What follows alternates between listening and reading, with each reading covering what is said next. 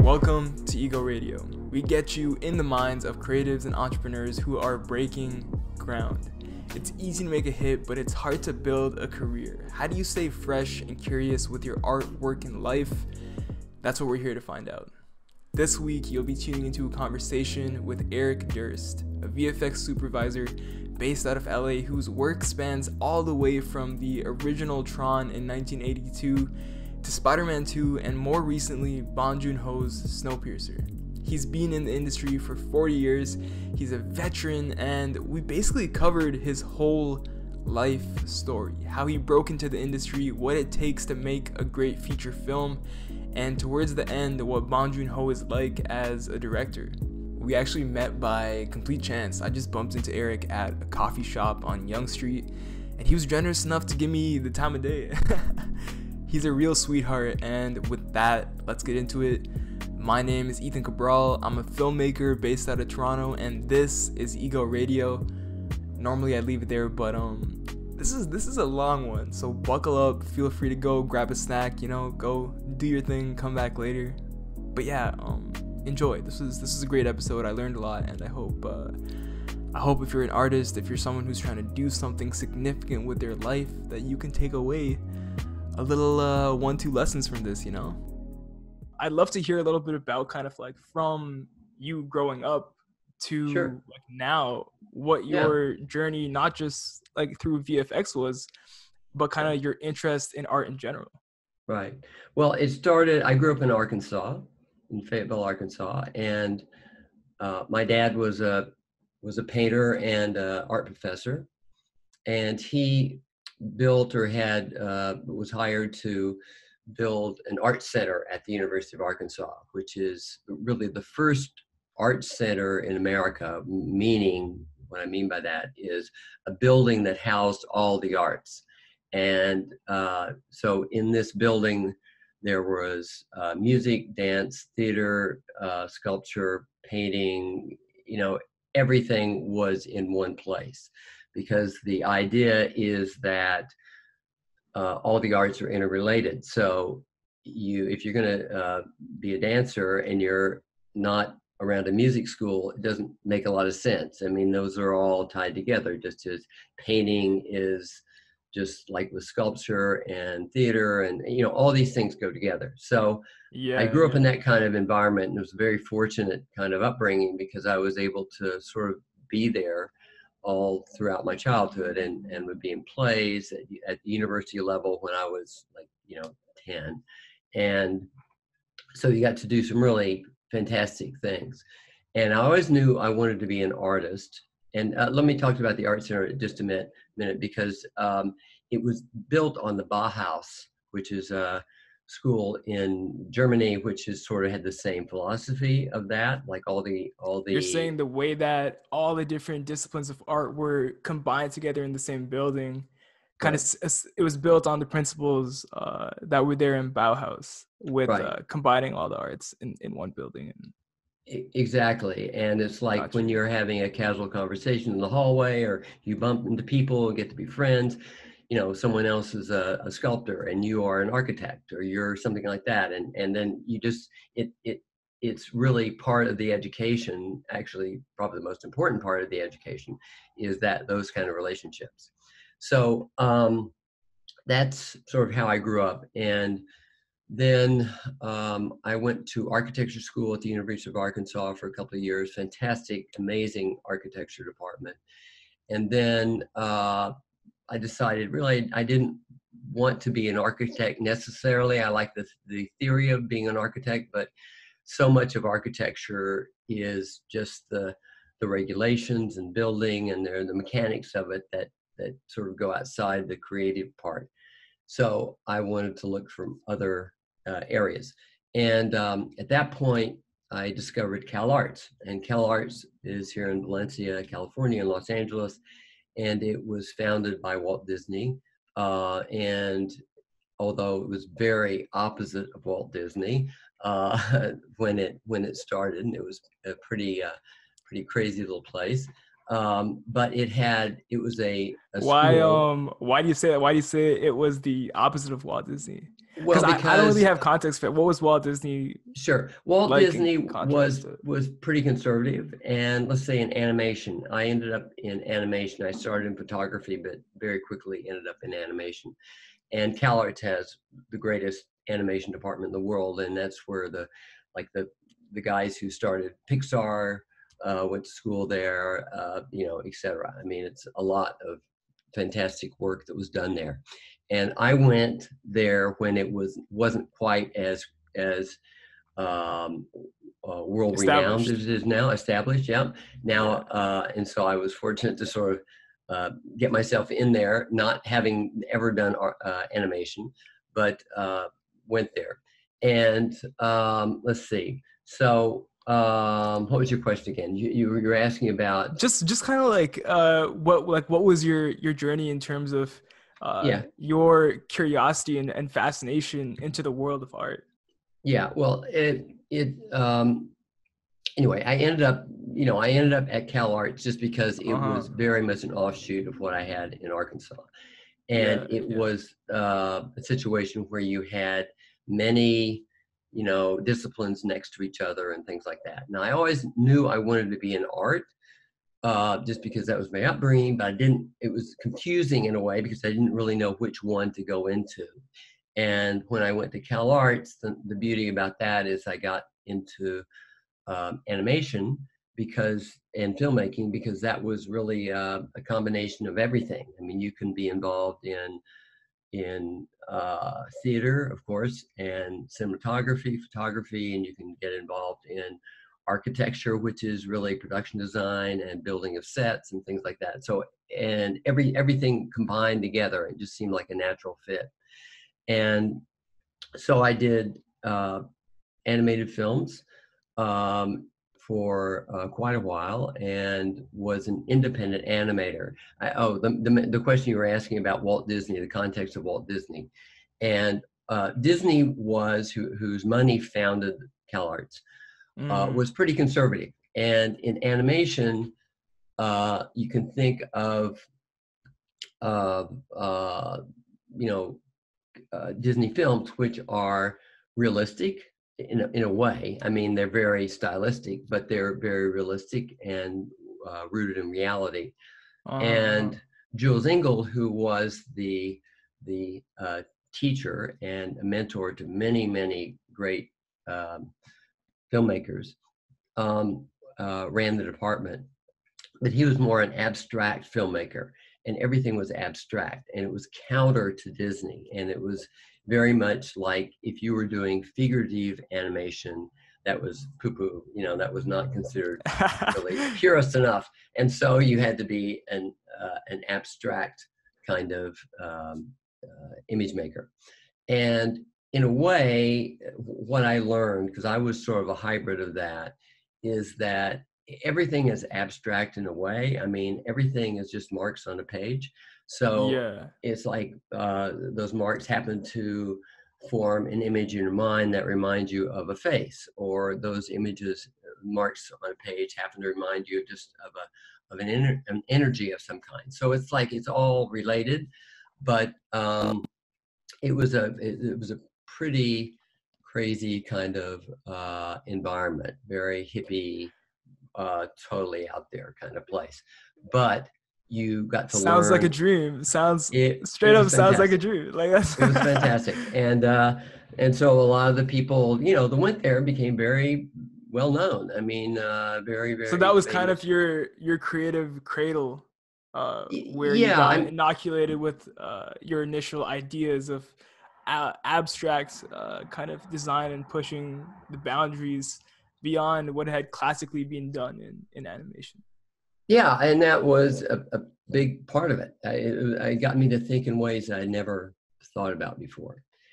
And so I went there for a couple of years and um, graduated with a you know degree in film. And but uh, Sorry, really just a quick, have... quick, quick question. A little bit off topic, but sure. um, what, how how old were you in like the '60s and uh, like late, like going into the '70s? Well, when I went, I was like you know 20s when I was in uh, at CalArts. So young 20s. Oh, that's crazy. So you Yeah. so you lived through because now now like recently I've been reading about uh, kind of like Timothy Leary and a lot of the big figures in Oh, the yeah. '60s. What was it Yeah. like being in California at that time? Like I'm I'm so curious to know.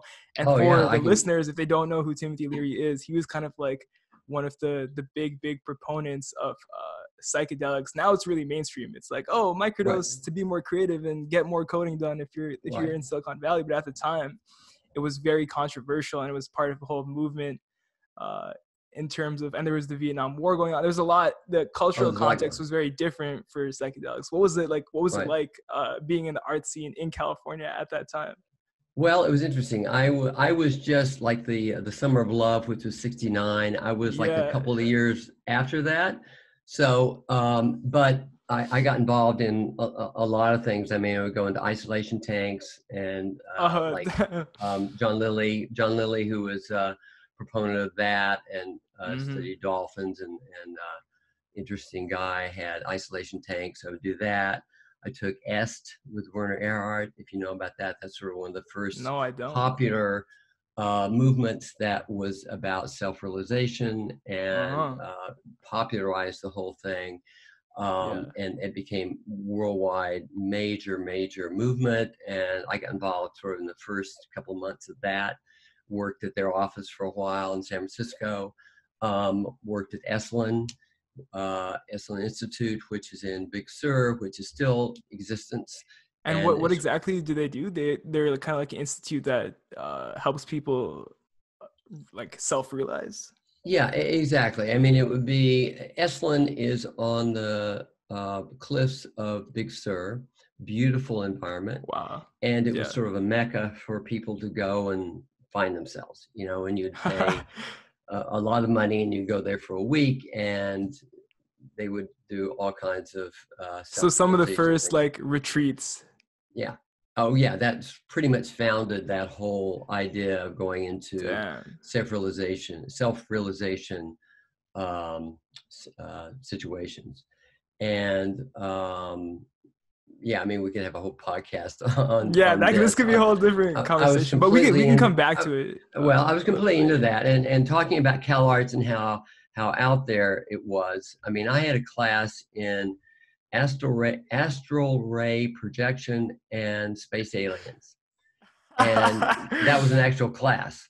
that sounds uh, amazing. yeah. and this guy who was uh, um, doing the class was a professor. Uh, he well showed himself as a professor. In the end, they found out he really wasn't a professor. It was bullshit.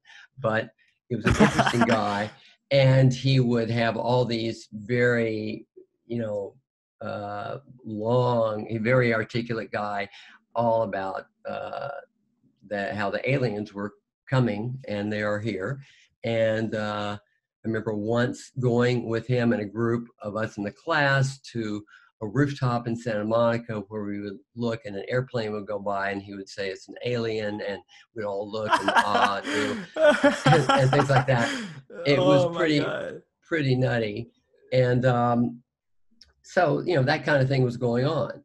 And, um, but at, at the same time, there was a lot of real world uh, learning. So it was, it was sort of a good blend because you had this very open um, openness to what was going on in the 60s, 70s, which was mind expansion and seeing uh, different ways of looking at the potential, human potential movement. So the potential of what humans are, which is far more than what people think it is, and or think you're 100. percent And yeah. so um, that was really born uh, in those, uh, you know, it's been going on for thousands of years, but it sort of came to light in the in those North periods. American culture.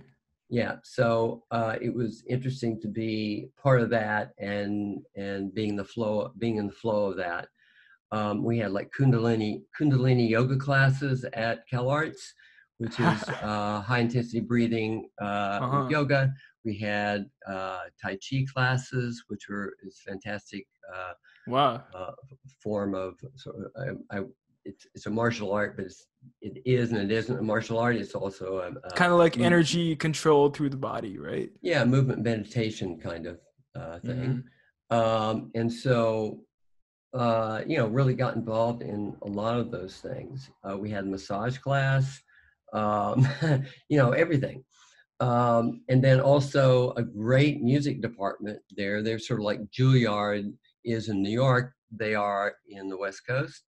So wow. okay. um, I got to study with uh, like Ravi Shankar was uh, was uh, on the staff there.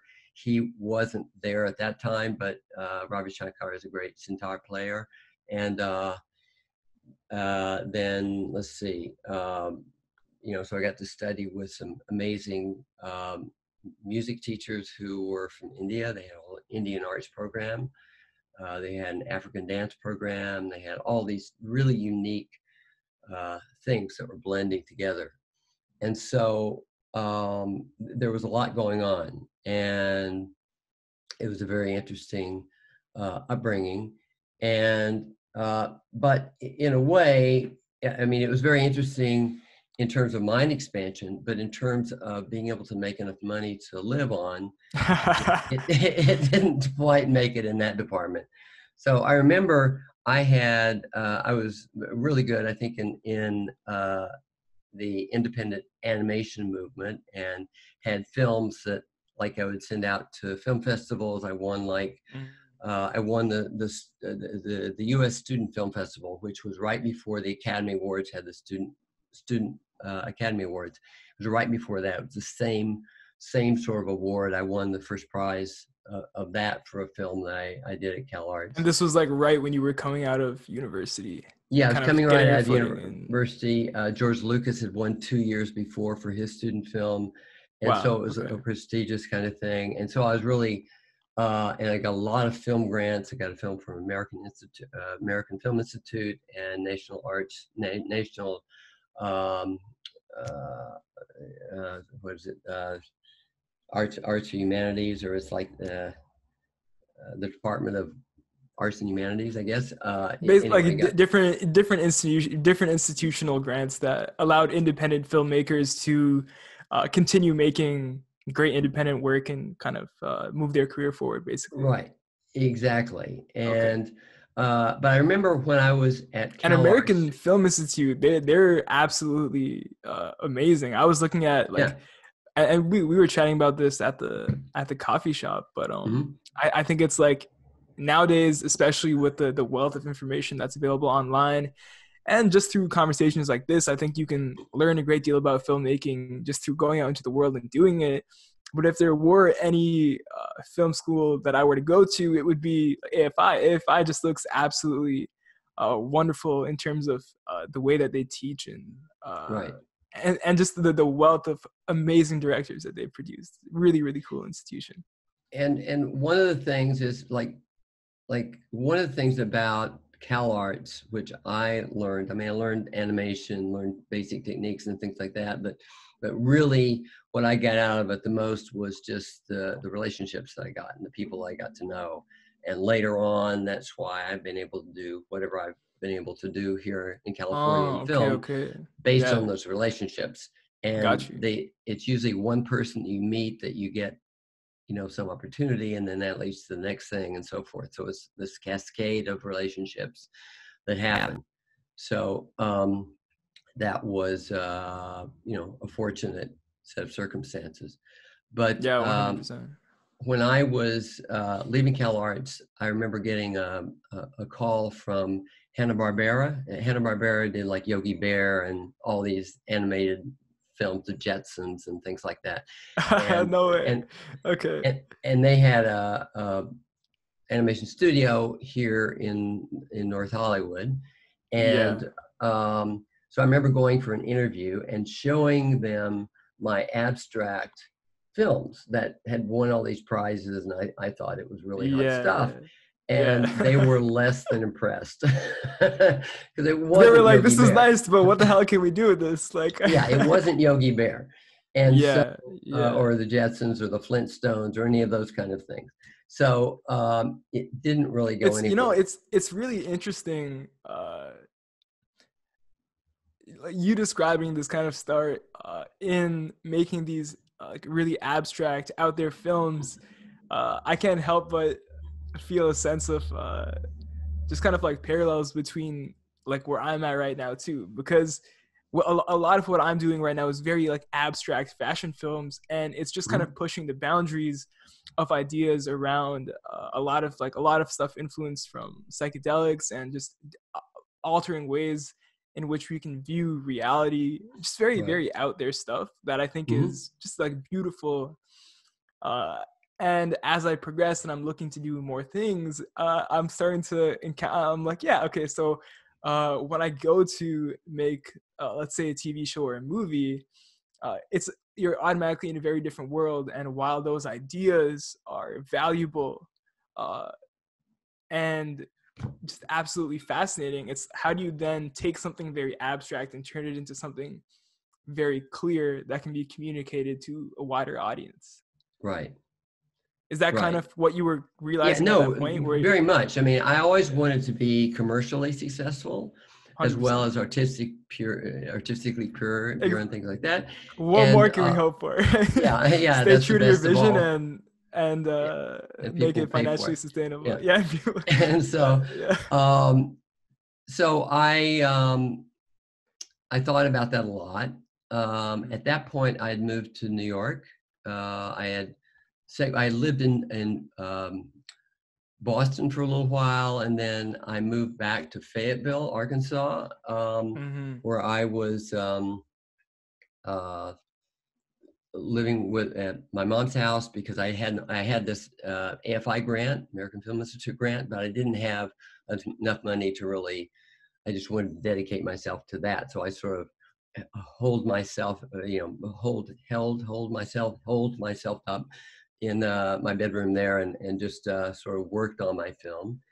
And yeah. um, it, it's interesting about, I mean, I'm giving the full story here. It's like Fayetteville, it, it was an interesting town. It was a place that I, when I was young, I wanted to, to go to California. My, I had spent some time in California a summer uh, in the 60s where my dad taught at UCLA. And I remember being in Santa Monica and saying, this is where I want to live. It's just so awesome and I want to be here. So that's sort of set the tone for going to California. I've had um, similar experiences coming from uh, Toronto, going out to California to visit family when I was young, just being like, this is where I need to be. The, yeah. Just the culture, the weather, the atmosphere is. Yeah, fantastic. it's awesome. And Santa Monica, especially. I mean, it's a great, great little venue. And 100%. so um, I remember being back in Arkansas and thinking, oh, this is, you know, nothing's happening here and all that. but a lot was going on. Uh-huh, um, uh-huh. There was uh, a guy who had a dime store in the um, the center of town. Actually, he had one in in his town, which it was a, a couple of towns up in northwest Arkansas, and then he had a little a dime store there. Um, Sorry, you, a, did you say a dime store? What, what is that? Yeah, like a dime store. It's like a five and dime. Uh, it's like um, it's like uh, wall um, uh, what was it? Walgreens or um, got you, got you. See, uh, kind of, CSV. Like, yeah, like that CVS, kind of thing. CVS. Yeah, like yeah, sort of a drugstore type anything. Uh, but although it doesn't have the, the pharmacy, it just has oh. The abstract board game for two players, oh in which the game. Just a second. Alexa is is trying to get it on the act. Just said, let me turn her off. no worries, no worries. That always happens. It's like That's so you start funny. talking, and then your iPhone starts listening to you and saying, "What did you say?" And uh, what, you, what was that? What was Can that? I help you? so um, yeah. So anyway, he he's and then he started like when I was growing up. He started. He had an idea that um, we're here in the rural part of the country, and we really mm-hmm. want to have uh, goods that everyone can buy. So we opened a place called Gibson's in the in the um, in the roller rink that was like outside of town, and you go there and you can buy all these kind of things. Anyway, it evolved uh, further and further, and um, and then uh, he changed uh, uh, the name of it, and it got a little more successful. His name was Sam Walton, and uh, so it's Walmart. And so uh, Mr. Sam is what we would call him. Uh, started it, and it it was in still the world headquarters is in Bentonville, Arkansas, which is Okay. just a little bit uh, north of Fayetteville, and uh, it's a pretty amazing place. I was there uh, a few months ago, and uh, it's it's pretty spectacular environment. But uh, anyway, so I didn't think anything was happening, and yet you know Walmart was starting down the street, you know, and that was going on. A lot of people I went to high school with ended up, you know, whether you uh, love or hate Walmart, it became a uh, the idea initially was very very sound, and Uh-huh. that became good. And then um, then one day my mom was I was uh, down drawing uh, animation, and my mom said, "Hey, Rick," and they call me Rick uh, rather than Eric. Uh, when I grew up in Arkansas, because that was just uh, because there was another Eric, Eric Kramer, who I went to school with, and we had to distinguish between the two. And so I became Rick, which actually ended up with sort of a cooler, cooler name than Eric when I grew up, and then it became Eric later. But um, so my mom uh, said, I had this, uh, you know, one of our neighbors just came in who just moved in, and and uh, I want you to meet him. So I, I went upstairs and and there's this guy and and uh, so we started having breakfast and talking, and uh, he said um, he he just started teaching law school, and so uh, we're having breakfast and and we're saying how what would you like to do with your life? And and I said well I want to be a filmmaker because I think that's the greatest thing in the world. And so I remember uh, showing him my animated film lying uh, sitting on the on the floor and sort of flipping through and saying how cool it was. And and so that's why I'm and at that time, it. you like literally physically flipping yeah pages to. flipped it. Yeah flipped it. And he thought that was pretty cool. And then so I said what are Yeah. you what are you going to do? And he said well I uh, I'm teaching law but you know I really want to get into po- um, into public service. I really want to be a public servant. And I think you know that uh, if you're going to do anything you got to do do it the best you can ever be. You do it the best you know go, go to the top highest standard go possible. to the high, highest standard. So I want to be in public service. So you know what? I think I'm going to be. I want to be president of the United States. I said, really? And and he said, yeah, I, I think I want to be president of the United States. And I didn't quite get it. I didn't think that was right. But my neighbor was Bill Clinton, who uh, became the president of the United States. And uh, Holy shit. and I always remember that with Bill. It's like talking to him and having that vision and um, thinking nothing much was going on in Arkansas, but down the street was Walton's, uh, Walmart was being built, and my neighbor was the next president of the United States. Next So, president of the United yeah, States. so, so that was pretty, pretty well. So that was my little uh, time when I was doing my animated film um, in Arkansas, and then I ended up uh, moving to uh, New York and living in Manhattan. And um, Did did And- um couple couple questions about your time in Arkansas. Was that kind Yeah. of like I'm guessing you did feel a lot of uh pressure at that time to kind of figure it out, right? Cuz you're working on your film, you're trying to get that going, you have this grant, but uh in term other than that there's not a lot going on at that point. Like what was what was kind of like your mindset at the time while you were trying to figure out what was what was your what your next steps kind of were or were you just kind of taking it as as it went like just kind of like living it day by day and doing what you were doing and did any of that vision of like like let's say like bill clinton like that you're talking about that conversation you had and uh it sound what it sounds like is that what you got from that conversation was that ability to see a vision of what you wanted to build with your life and then Right. execute upon it right, so mean, that was a couple different that- questions there but right, right. No, that was a big part of it. I was I was impressed.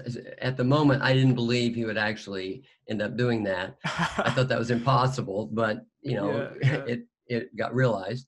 Um, and then my my goal at that point was just trying to get the film done because I had a Mhm. commitment to the AFI and and I wanted to get it done. And I knew I couldn't really. I felt probably more than more so than was necessary that if I had that everything hinged on this movie that I had to get this this animated film done. If I didn't get it done, if it wasn't spectacular, nothing would happen ever again.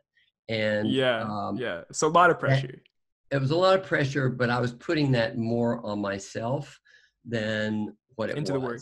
Yeah, and so uh, the the film I ended up m- making, you know, was shown a little bit, but it wasn't that great because it it just um, this is when I was trying to um, become more less abstract and in filmmaking and more um, let's see uh, more commercially viable. So I wanted to do a more realistic film. So it was sort of a hybrid between the two. It wasn't really, it wasn't a great um, visual film. It, was sort of in between both. It was a growth, growth film.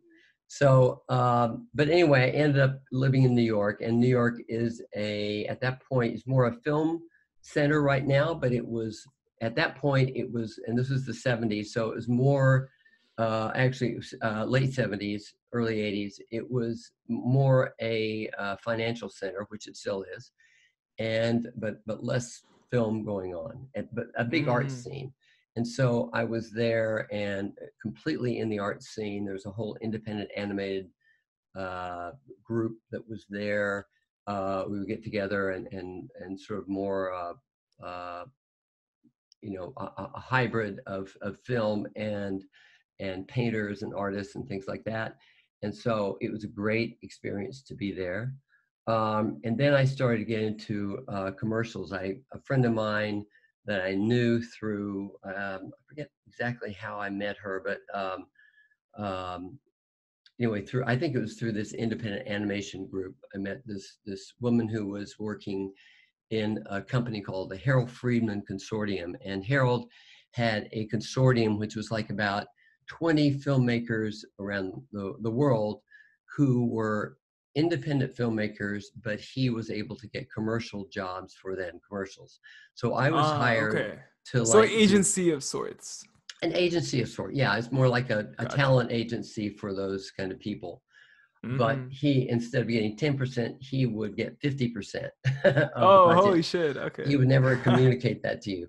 But uh, I discovered and so that was a little alarming. But um, anyway uh, so i would do cold calling. So my job was to um, call ad agencies. There's a thing called the red book which became pivotal later on in my journey. Uh, the red book was is sort of the, and I, I guess Red it's still around. It's a the red book is a dictionary of, or it's a like sort of an encyclopedia or a a phone book, I guess, of all the ad agencies, who works at the ad agencies, what their um, accounts are, who you know what the structure is in the agency, and and what their billings Oh, are, and- okay. and, so forth. So my job was to cold cold call these agencies and try to find some, find find somebody and send them reels and and and get business. So it was a really interesting thing to do as drudgery when I was doing it because I wasn't really feeling like that's what, what I was meant to do. But uh, I got to learn about ad agencies and advertising in New York. I got to meet a lot of people in advertising. And then later on, I was added to the roster of, of artists and filmmakers. So I decided that my cold calling was over. I really wanted to do uh, film. And so I ended up um, doing quite a bit of work, animated uh, work in New York, which was character driven, but more cartoony kind of driven stuff, and uh, doing a lot of uh, commercials, which I love doing, and it was great. Um, and then um, I was living in a uh, uh, a building at 90th and First, uh, between 90 and 91st Street at on First Avenue, sort of a, a walk-up uh, railroad apartment, which is an apartment that's just all one one long line here, a kitchen at the end, and and sort of a bathroom and and living room and everything sort of in one Yeah. line at once yeah. and so as a railroad. Um, and also, my wife and I uh, uh, were having a child at that point, and then we had another apartment on East 87th Street. Um, and but I was keeping the railroad apartment as a studio, which is totally illegal in New York. You can't, or at that point, you you had to have a business license and a business, so Ah, okay. space or a living space. It wasn't combined, and that was sort of before everyone worked at home. So it was uh, Yeah, now yeah. now I don't think the laws really apply anymore. But um, at that point, I had like 10 people working for me at Eric Durst Films, and I had my own little little department. And I have ink, inkers Wow. and painters, and they would come into the railroad apartment, and I had a long, long table of people working. And uh, this guy John, who owned the building, had a deli down below, and every morning he'd see these people come in and never leave. And he said, "What what the hell's going on?" It's like all these people are going, and then then at the end of the day, like a, a flood of people come out, and it's like, what what's going on? And so and were these um, all commercials at this point that you were working? yeah, on? these were commercials, and then I did um, a film So for. I'm guessing yeah. that like during this time when you're running Eric Durst films, that's probably when you got a sense of uh, what it takes to not just work with the team but manage a team and understand what it takes to uh, do projects that are more than a, a, a one man show. Yeah, exactly. And you know, if you're a one man band for a while, you end up doing everything together and or all all the different jobs. And sometimes it's hard to give up the uh, you know touching everything. And and so it's difficult yeah. To become a manager where the ultimate goal is really to replace yourself to to have everyone do all those jobs and you manage. Uh, but i was doing a combination of both. I was animating as well as uh, directing and managing this. Um, and so it was, it was difficult because you get a big check and then you'd have to sort of disperse it out and make sure it lasted until the next check. And um, but it was okay. I mean, it it was enough. You know, everyone was sort of making, or I was making enough to uh, survive. But it it was it was tricky.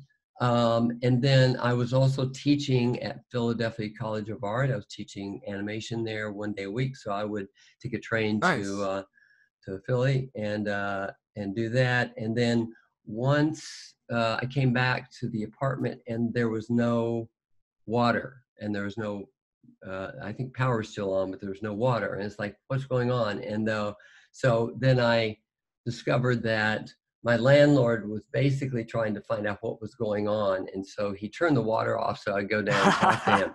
And, uh, and so um, he discovered I was running a, uh, a studio. Legal and- business, yeah. a- yeah, a, a, a legal, like legally kind of business. And um, and so area, yeah. I was evicted, and so I got an eviction uh, notice.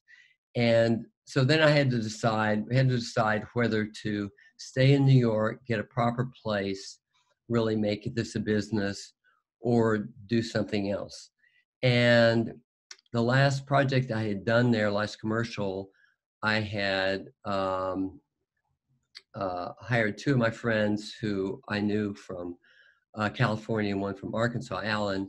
And uh, uh, so they were in California. And so they said, why don't you come to California? And I think we can get you a job at Disney if you want to come. And why don't you just come out? So um, I had a one year old at that time, and it was time to sort of, it just felt like the time to sort of uh, change gears. And because there was just more film work in in California because it's like if you're into cars, that's you go to Detroit, you know, that's just the what happens. Or you want to do certain kind of software design and you go to Silicon Valley. You know, it's like That's that kind of thing. It's it's Yeah. the environment yeah. that is going on. Sorry, you you broke up. You broke up for a sec there. What was that? Yeah, so uh, so we decided that it was time to move to uh, California. Gotcha. And so um, I got in the car and I drove first. My wife and and child uh, flew, and she stayed with her brother for a while, and and just sort of I I came to California to sort of work it out. And um, I've had a lot of instances where I've just sort of been at the right place at the right time. Really, there's no other way to explain it. So I ended up coming to California and staying uh, with my friends Liz and Alan, and um, and the first week I was there, Alan Alan Blythe was um, uh, an animator, and he was at Disney, and they were doing a film called Tron, and it was uh, if you know Tron, the of movie, course, yeah. and uh, so he said, "Why don't you come over and and maybe I can get you a job." So I came over, and I met with uh, people there. I met with Barry Cook, who has become a very famous uh, animation director. And Barry was an animator, animating. He needed a, needed an assistant, and so I said, "Yeah, I you know I'll do it." And so uh, I had been in California like three days, and so I immediately got a job at Disney, which was pretty and so then we went upstairs. They had a little sort of a donut shop upstairs in the Yeah. uh, animation building at the at uh, at the Disney studio, and on the wall was a a little uh, uh, sort of a community board, you know, with all these different things up there, and then one was like for renting um, a house um, in Burbank. And so I said, that sounds great. And so I went and rented that house. And so within like four days, basically, I came to California, got there, had a job, had a house, had it all together. And I just thought that was the way it was. You know, that was just easy, you know? and uh, not, I was very fortunate, let's say, in doing that. And so um, I worked at Disney on uh, Tron, which was an interesting experience because it was like we always called it the first handmade or uh, first hand drawn uh, computer animated film uh, because it was it was it was sort of presented as the, one of the first computer made film I mean, it was about computers it was about living in a video game yeah. Yeah, Um, yeah. and it was also done with a lot of very you know at that point sort of cutting edge computer technology Yeah, well, I've, but, I've seen the the recent Tron. I haven't. So you're what you're talking about is the is original Tron. the original. This is there in like what 1982. 1981 80 81 yeah it came in 81 That's incredible. And with jeff bridges it was there it was doing you know it was in the film and um and it was like pretty a pretty mind-bending kind of thing during that time and so um what So you what would move to California and you stumble onto one of the most ex- exciting, cutting edge, uh, uh, kind of uh, animation VFX uh, things that are going on in the industry at the time. Right in like three and a half days yeah so yeah, it was quite fortunate.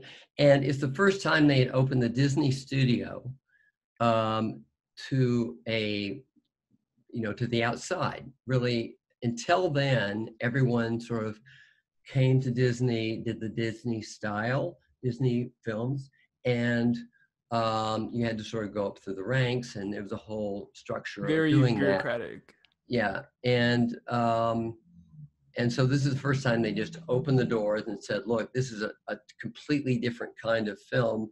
We don't know how to do this. Just open it up. So a lot of people that had worked at robert robert abel and associates uh, bob abel had um, a commercial house in la which was doing computer animation sort of the first major successful uh, commercial house to do commercials that was driven by computer technology. But at that point, computer technology was wireframe. And so uh, during Tron, we had, um, if you, a famous sequence in that movie is called uh, motorcycle sequence. And it's where uh, Jeff Bridges and I think Bruce Boxleitner, who was also one of the stars of it, had had this sort of duel. They're these in, in these sort of uh, speeder bikes, and they're going back and forth like this, and um, it's a very famous scene.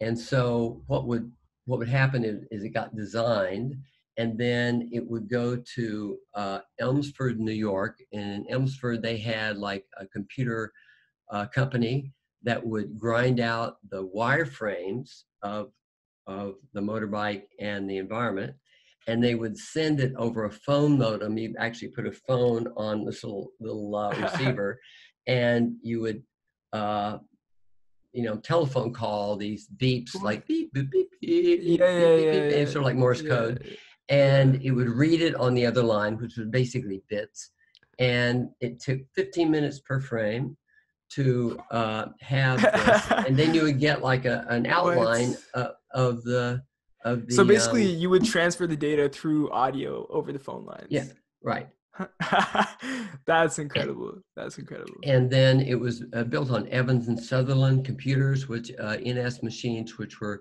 some of the first, um, you know, high-end computer workstations. and so, uh, but what we would do is we would take those lines that they give give to us, and we would put that on film and then make liths. liths are like high contrast um, acetate, which was like uh, 16 by 11 or something like that. It was like you know pretty pretty big, and um, you would take those lines and basically photographically you would have black where there was nothing and a line pure um, uh, clear where that was and you would paint where there little uh, little uh, dots you know imperfections and things like that. But then you would take those and shoot them on a down shooter a down shooter is like an animation camera where normal uh, hand-drawn animation was done. So it was like a camera up above and then a a uh, like a table here, which is underlit, and then you would project light through uh, through that, and usually put a gel on it. Let's say if you wanted a red line, you'd put a red gel on it, and the camera would see this red line, and you would project. So it would be. So basically, so basically, what you're what you're kind of saying is that you use uh, various translucent layers uh, right. that filtered out different bandwidths of light to create uh, red or blue or whatever different colors you needed to right. then physically create uh, some of the elements that you were seeing on screen in addition right. to the computer generated graphics that were right that were happening remotely in New York while you were putting the movie together in California. Right. Right. Okay. And then they would photograph they photographed the film just uh, like you would have uh, Jeff Bridges and all the other players photographed, and they would take each frame of that film. And if you ever look at it, they have these um, outfits that have these sort of lines on them. If you look at Tron, they all have these sort of lines on yeah, them, and yeah. they were like uh, there was a certain light that you could project on them, and they these lines would glow on their outfits. So it was sort of an interesting, weird look. And we would make these large black and white photographs and so you would do a multi-pass um, uh, photography of these elements. So you first element you would shoot. I'm simplifying, but basically the first element would be the black and white photograph of the live action. So I'm, you know, I'm here, let's say, and you photograph me. So I have myself in black and white, and then I would have the line drawing uh, of, of, let's say, I'm I'm throwing something, and there's like a uh, computer ball or something like that. So I had the line of the computer ball. I would expose that on the next pass. On another pass, I might highlight different colors on the uh, the outfit that they have. Multiple passes. So sometimes you. So like when 20- you say pass, essentially you're saying like layers. So you're saying layers. like multiple layers of exposure of the the film to, right. and then you you'd merge those together and uh, create the final image. Right. It's, it's like in uh, After Effects or something where you have multiple layers. Layers. Uh, yeah. Uh, you would do those photographically. So you would have the first pass, you do yeah, it, and then you would have to uh, shut the lens, crank the film back to zero again, put the next layer in of exposure, uh, expose it again, uh, and go back and back and forth, back and forth, back and forth. And you're shooting blind. So you don't really know. You do tests to sort of figure out what the exposures are, but it's not like in After Effects or or any compositing program, Nuke or anything, or or Premiere or you know where you can look at layers and you can adjust them in real time with a monitor. You have to sort of know what your exposures Send are. it to the lab, bring it back, and then the lab, know. bring it back and look at it and say, oh, that's a little too bright or that's a little too dark or whatever. Make adjustments. and so uh, it was a pretty laborious thing. So that's why yeah, I call it yeah. a hand drawn animated film because it was like uh, some of the parts were generated with computer, but it was really hand drawn, very much like Disney films. Mm-hmm. And so um, ended up uh, uh, doing that, and that sort of introduced me to a lot of people who are in the in the commercial field and areas of um, you know visual effects because uh, I'd never done visual effects at that point, just animation. So up until this point in your career, now what you do these days is you're a VFX supervisor. So you're kind of in charge of creating uh, all the CGI in films. But up until this point, you were just in animation. right. I guess VFX wasn't as much a thing. Uh, Uh, it wasn't. I mean, at that days. point, there were only a few, and there were only a few um, houses in the world. I mean, Star Wars had already come out. Uh, Apogee, uh, uh, Industrial Light and Magic, which became it split. There's a whole story there with John Dykstra. It, it's like app. It, it they, they created uh, Star Wars. Um, there were like you know some films there, but there were only like about maybe four houses in four or five houses in the world that did visual effects. wow. And so um, through a relationship that I I met a, a friend of mine uh, who I'd gone to Cal Arts with, he he said, "Why don't you come to a party?" I went to a party. I met some people. Long story short, uh, they needed somebody to uh, work on an animated commercial um, at a company called DreamQuest, which is one of the five houses that did visual effects, and that was Nice. all. At that point, it was doing miniatures and motion control. It was all photochemical. It wasn't. There was no electronic compositing at that point. And so I went and I animated some, um, uh, you know, animated, uh, uh, you know, commercials and things like that. Worked with a woman named Lynda Weinman, and uh, Lynda was interesting. Also, she, um, uh, Lynda and I were um, in this little sort of uh, attic, and we would work for like about six months on on commercials and things like that.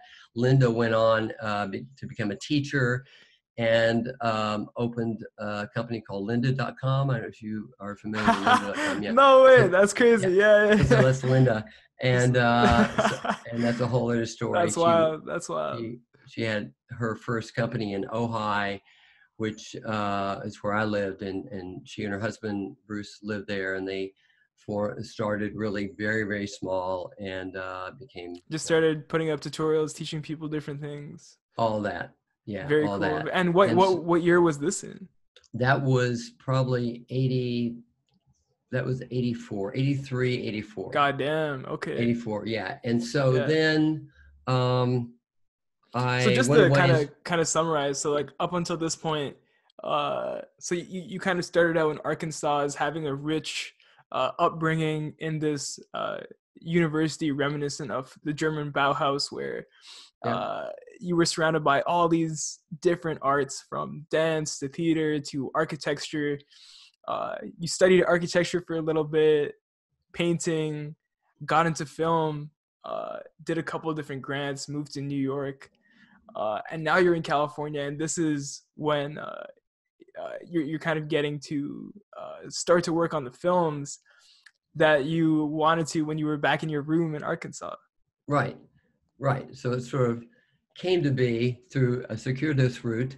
You know, you never know quite where the path is going to go, but and a lot of fortune and a lot of sort of knowing people, and you know, a lot of it is the network. I mean, a lot of it's who you meet because all these these things that happen to me are really casual relationships that you have. You know, people that you know, and they sort of yeah, yeah. help in one way or another, and you sort of meet people along the way, and one thing leads to another.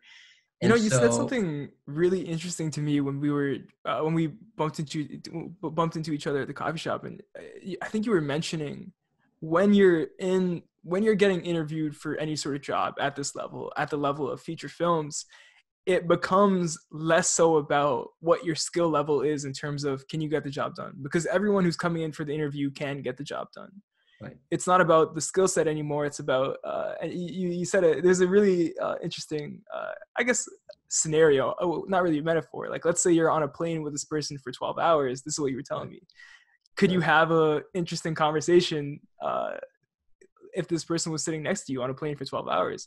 And if you could that's what's really going to determine whether you land this gig or not because it's not really about uh, the skill set on set it's about the chemistry Right. and that really resonated with me because what i'm finding as i spend more time in film is that it's not uh, it, it's it, it's not, it's not about the skill set of any one individual on the crew it's about everyone putting their ego aside to make something bigger than any one of them could individually Right. That's right. It's the airplane test.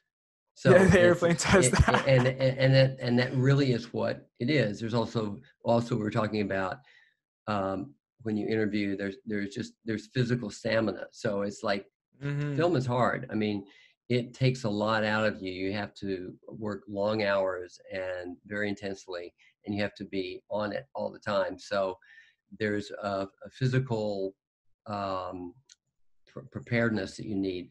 But really, what trumps everything, or what sort of goes above everything, is uh, your ability to work with somebody because you're spending so much time with people. They want to you want to be somebody that they want to be around, you know, and, Yeah, or, or yeah, don't yeah. mind being around, let's say. And and so uh, that really is that's important, you know, yeah, and yeah. and you build relationships that way, and that's really how it's all driven. Because when people say Hollywood is a place, it's not really a place; it's a network Mm. and there is no Hollywood. There is the the connection of people in film, and that's Mhm. what that is. And so I see go down to Hollywood and, and Vine or Hollywood Boulevard, and I see these people looking around, you know, looking at the the stars on the sidewalk and going to the museums and stuff like that, and thinking that's Hollywood, or going to the Universal uh, tour, which actually is pretty Yeah. good tour. But uh, you go to that and they think, oh, this is Hollywood, and it's not. I mean, that's not what it is. It is a, a it's a physical representation of something that's uh, Right. that exists in around the world in terms of uh, a network and and uh, Right. rec- record kind of like recognition, right? Right. Like Yeah, kind of like real recognizes real in terms of like you know uh, who can get the job done and you know who you can rely on to get that done, right, whether they're And in Australia or Montreal or right. wherever. And it's layers and layers of relationships and it and the the relationships you think are just well this is just my buddy that you know i'm doing this with or whatever. I mean that they're more valuable than you can ever imagine because um, one thing always leads to another to another to another to another and you can look back and say look back 15 years and say oh well uh, i had no idea at the time that that this one thing would lead to the other. And um, so it's it's important to like you know to create that that network of, of people that you know. And um, and it, and it takes a long time. You can't just sit here and just have it happen. It's just you you take jobs that you can get because that gets you in the gate and and you meet people while you're there. So it's uh so i say you know you got to get in the river and uh, you got to find the river and the river doesn't necessarily have to be in california it can be in a lot of places because films are made everywhere but you want to do whatever you can to you know get in the gates and um, because there's a real big difference between being on a on a project on a film versus just hearing about it. It's like when you're on on a production and working in any capacity that can be from somebody just bringing the coffee in to somebody you know who's directing. Uh, any any you know part of that you are part of this network and you get to know everybody. And um, it's always interesting and you always learn things. So you learn you can learn so much in school but you really uh, to me school is is certainly you learn skill sets but you really learn your skill sets when you're out working. You need to know enough to get in the game but um, the most important thing is is the people that you meet along the way.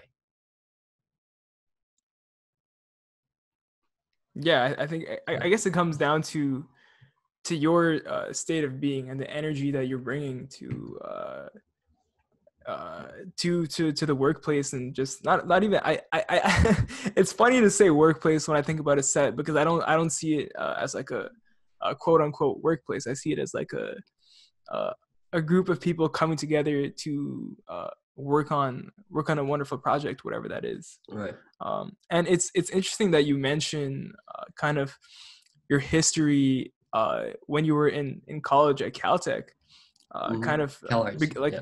Cal. Oh, sorry. One sec. Yeah. All right. My microphone Um, Okay. Okay, cool. Yeah.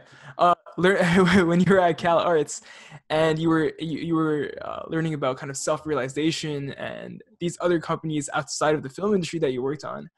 That must have had such a profound effect on uh, your ability to bring the right energy, like day after day, uh, on those strenuous film sets and put the put your best foot forward. Well, you think about it. I mean, sometimes it gets really hard. I mean, honestly, I mean, it's, it's pretty tough sometimes and sometimes it's like you wonder why you're there. I mean, you're you're in the middle of some freezing field out in the middle of nowhere, and it's like, why on earth are we here? And it's cold and it's raining and it's just like yeah, know, dire circumstances.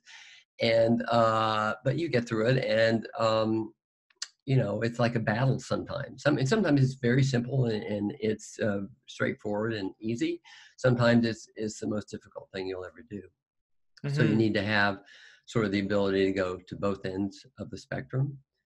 Um, but I I feel like I've a, a, thing that has been valuable to me is first of all the animation background has been great because animation is sort of the foundation of everything I do.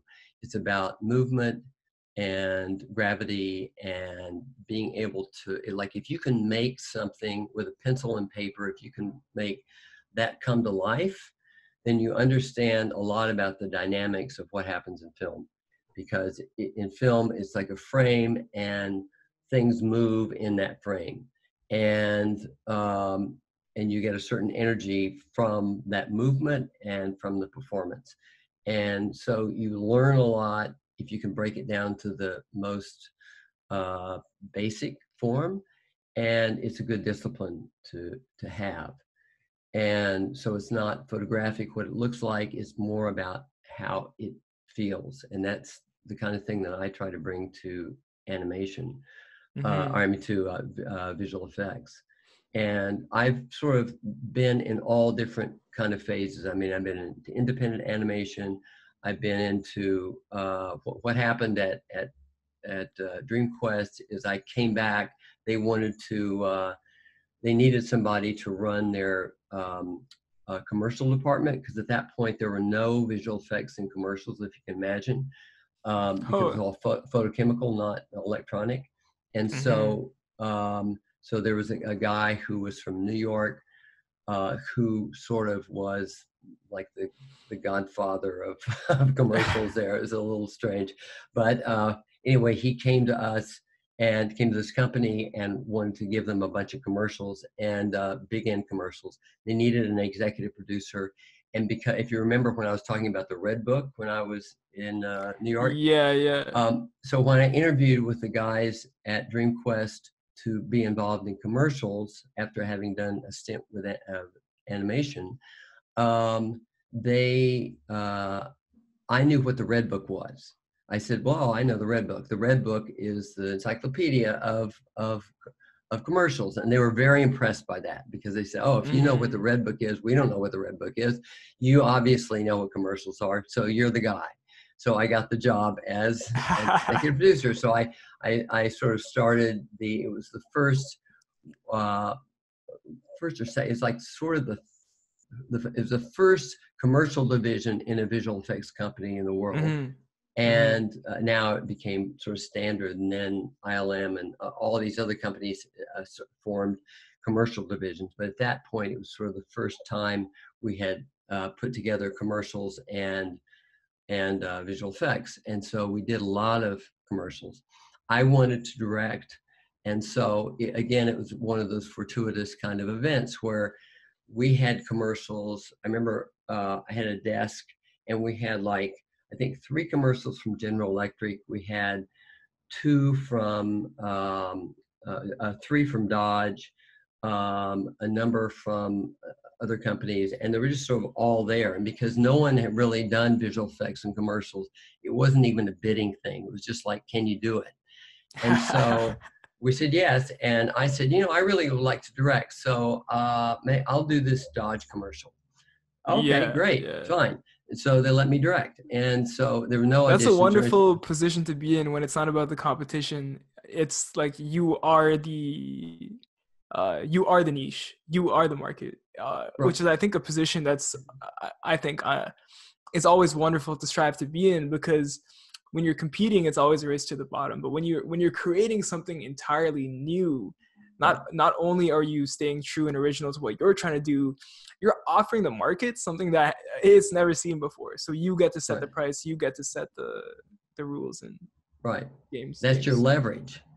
That's yeah. leverage. I mean, that's what Lynda did with uh, Lynda.com. Also, I mean, she was the first person to really first company to get uh, tutorials online and um, because she had such a huge library she was able to leverage that and stay ahead and then end up selling it to linkedin for a exorbitant amount you know of money and and uh, yeah, yeah do very well with it uh, because he was first to market and uh, and in a way visual effects was sort of at that point first to market so um, it was uh, yeah a time where you could sort of make your way and so i ended up uh, directing commercials for like about 12 years and doing a lot of big campaigns. Uh, I at one point did three years of all of Volkswagen's commercials in the United States. I oh, that's five amazing. years of all Black and Decker's commercials.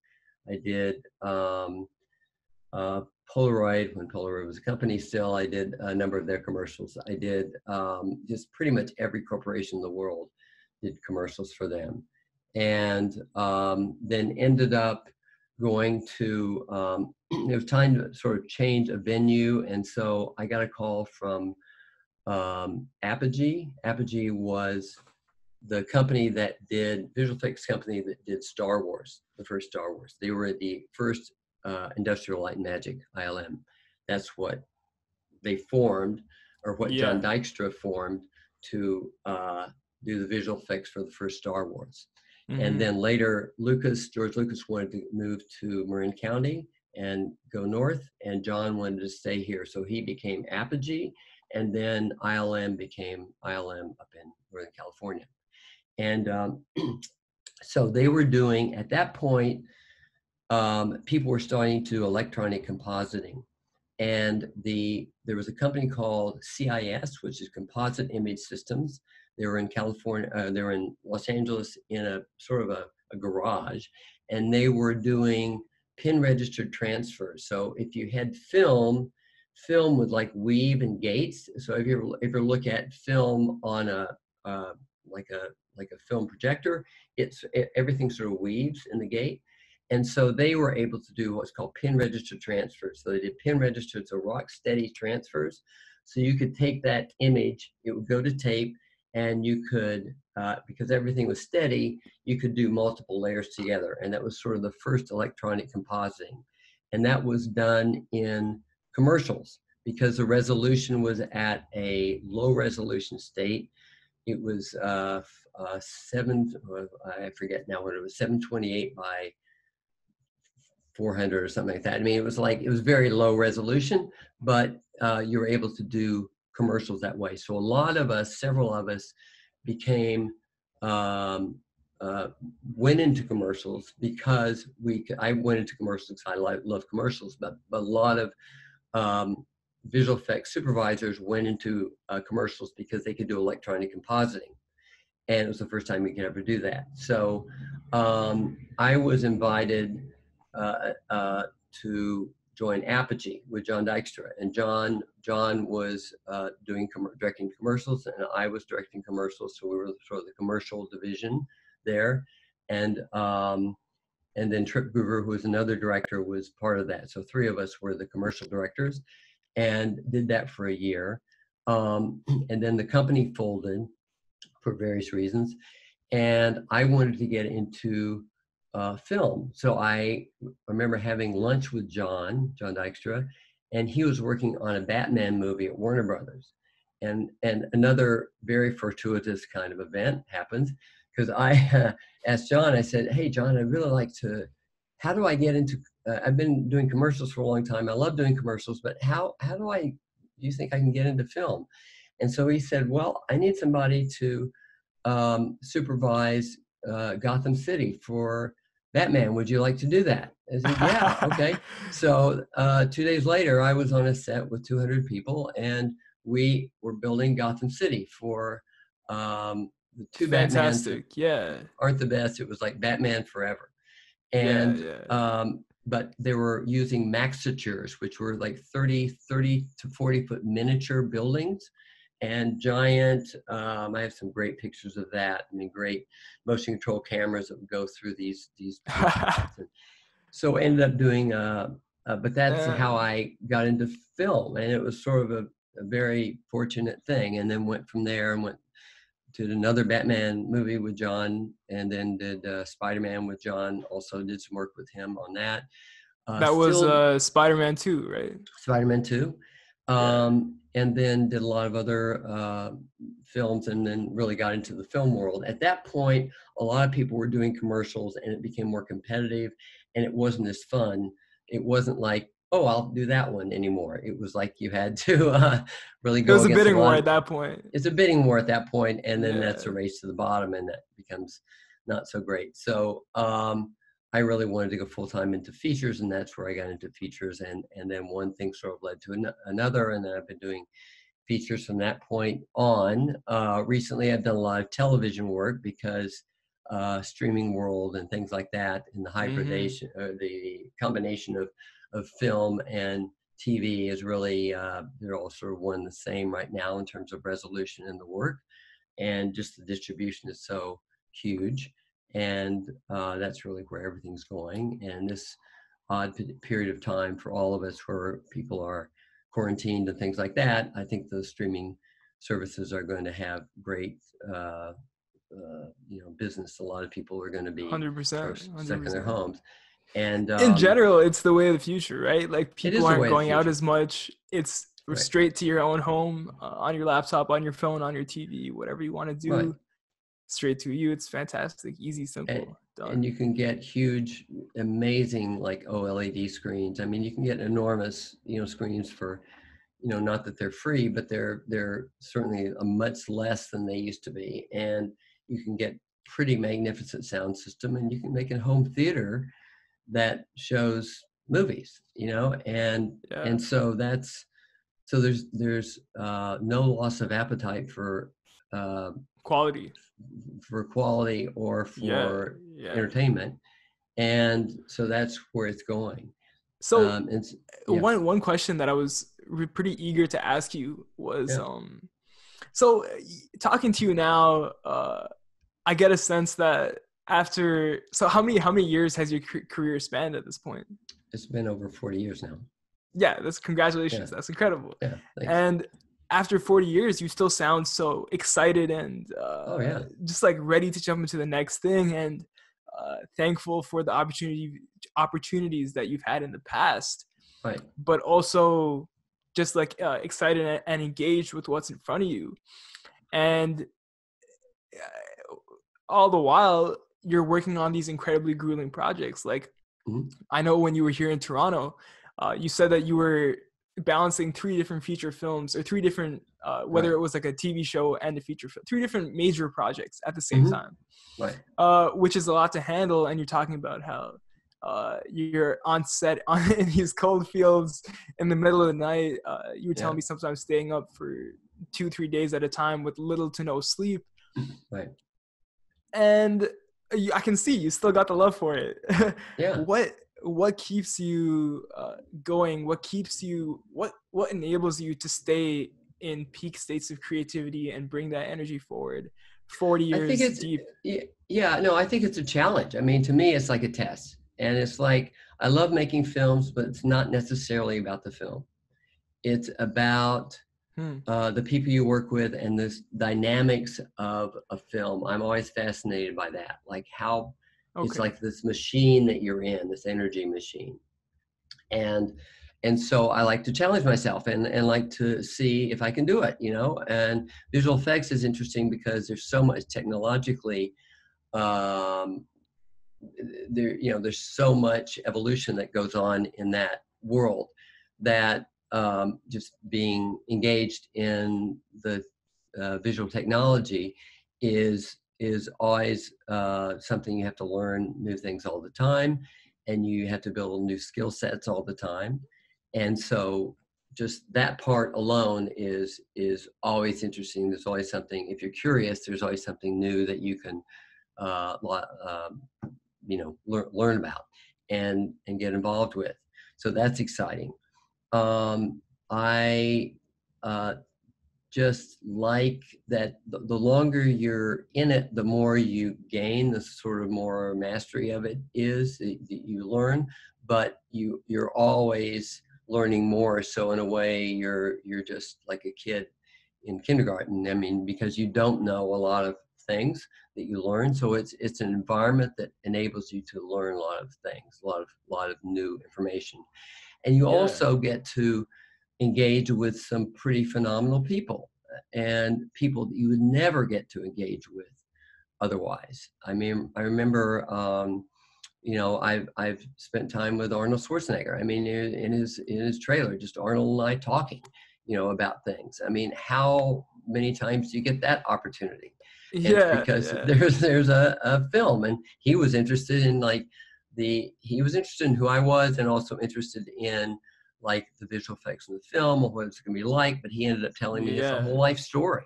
You know, these yeah, told many yeah. people, but just having him there tell you about being a, a body bodybuilder and like not having any money, and then you know uh, being a bricklayer with his his friends and and built and starting to um, uh, you know invest in apartments and how great that was. And he says, you really have to you have to invest in an apartment. It's very good because you, you, know all the people pay for your rent, and it's great. You know all that kind of stuff. I'm butchering his accent, but but you know you get to meet people like that or whoever it is, and um, and every film has unique people, and and you get to like I spent a year and a half with Bong Joon Ho, and Bong yeah. won everything this year at the Academy Awards. And and Bong. Oh, it was I, incredible to to see to see him just sweep, just like yeah, ridiculous. And and part of it is, I mean, I saw him a number of times here in L.A. and in Santa Barbara. Uh, when he well, well, you worked. Uh, you worked on. You were the VFX supervisor on uh, Snowpiercer. Snowpiercer. Yeah. Right, and that was uh, that. I just watched that last night. I was like, hey, let me check it out for do the interview. Fantastic film, really, yeah. uh, really interesting to see, and I, I, can definitely see some continuity, uh, quite a bit of continuity in terms of Bong Ho style from uh, that too. Although they're vastly different movies, Parasite and. Uh, well, and it's it's uh, as he says, it's a, a, horizontal social structure on the train, and it's a vertical social structure in Parasite, and and that was what he mm. was exploring. And he's just mm. brilliant filmmaker and just a wonderful mm. guy and great, so fun. And um, he, what he did, I think, was pretty amazing. The last, he spent like about four months uh, basically being in Los Angeles and all over the world and meeting all the people in the academy and all these different places that vote for awards and things like that. Um, and he just charmed them to death because he's just a charming person. And always very respectful of film. He's deep knowledge of film and film history, and very grateful to be in the field and loves loves it, loves his actors, loves the people who he works with, and he's just fantastic to work with. Uh, and a story I tell about Bong is like when I first went to Prague to work on Snowpiercer. Um, you go into I went uh, into the office and then uh, one of the assistants came in and says, uh, Director Bong would like to see you at two o'clock. And, and basically on the set, everything is formal. So he's Director Bong. Uh, when you go out after after work and when you're going out and having beers, it's like he's Bong, you know.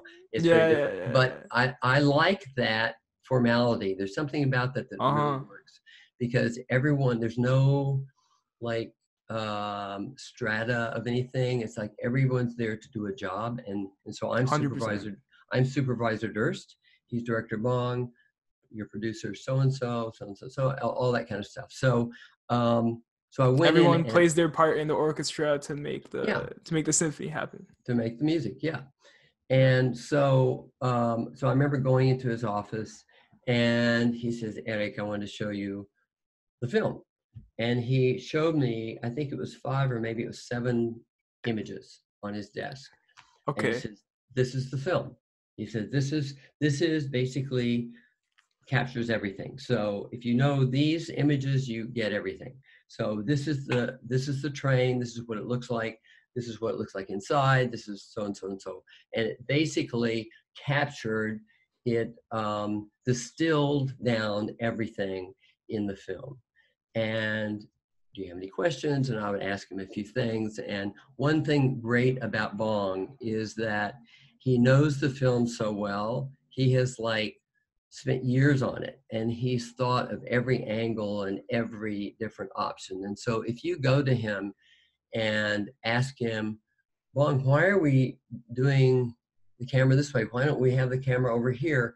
He will answer it and he'll answer it with great respect and not say you're a you're a dumbass you know you just stay in your place and i'm i'm the director i'm god yeah. i'm going to do it this way yeah. none yeah. of that pure openness pure like respect for everybody and he will answer the question and you realize wow.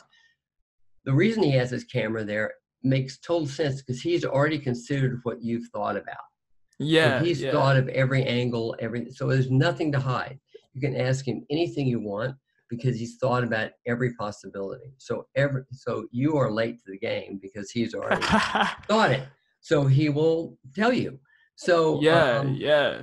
So I was impressed by all these images, and and so uh, we talked for maybe 20 minutes or so, and then went back. And then I remember going. We had a, a server at that point, and you could connect to the art department and all the the artwork and everything. So I remember going into the artwork folder of of what was the um, uh, the artwork for the film and looking through all the images. I realized there were hundreds and hundreds and hundreds and hundreds of images, and all the images that he those seven images that he showed me had been distilled down by all those different images. So it was like having um, a vineyard, you know, and you have all these different grapes and everything. And anyway, they they coalesced all these grapes into like, you know, the finest wine possible. I mean, he had, yeah, been able yeah. to do that, and it takes time. But he's that kind of guy, kind of director. So when he shoots, he shoots no coverage. He just shoots what he knows there needs to be because he's already uh-huh. put it together in his mind. And I've worked with other directors who wanted to do that who said I don't need any coverage, but in the editing room you find out you really. So when do. you say coverage, you're you're referring to kind of like uh, additional angles to stitch the scene together. Right. Kind right. of just so, in case so, shots. Just in case shots, right? So you have like a wide shot, you have a, a yeah. two shot, you have maybe a close up, and you have here, and then maybe have a third camera that's just catching stuff you know so, so you're saying editing, bonho there was none of that. He said this is the angle i want. This is the angle we're getting. There was the one shot. That was it. Shot very little film. Shot maybe 3000 we shot in film so we shot about 3000 feet a day which is not wow. 2500 yeah. feet a day. And so when you edited it it was yeah. there. And then um, uh, Jinmo, who was the uh, actually was nominated for Academy Award for being the best editor on Parasite, was also on Snowpiercer, and so uh, Jinmo was like the on-set editor. So as as he was mm-hmm. shooting, Bong would put these things together, making sure he had everything that he wanted. So we yeah, actually, yeah. end of the day, so, it was the film was edited. Was the film, by the time production was done, post production in terms of editing was also already done. Pr- pretty much, yeah. I mean, there's more or less first draft, timing, more more or less first draft, draft yeah. And um, that's so and, interesting and then we ended up working. Uh, I'm I'm listening. I'm just gonna replace the replace the battery here so you can. No worries. So um, Bong Bong was in uh, after production of that film. Bong was in uh, Seoul, Korea, and I was here in L.A.